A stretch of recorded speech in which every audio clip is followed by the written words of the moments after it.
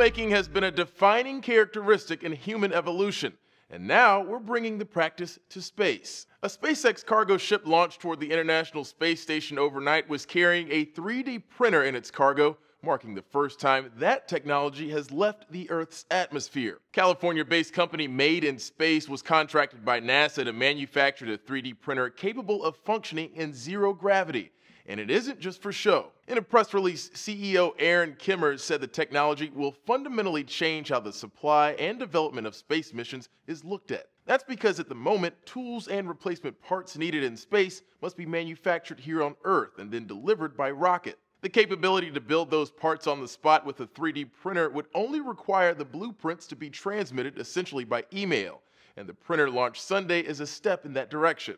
Its task is to build sample parts that will be returned to Earth and subjected to quality tests. But as CBS reports, building reliable items from plastic is only the current goal. The next challenge is to print objects using materials found in space.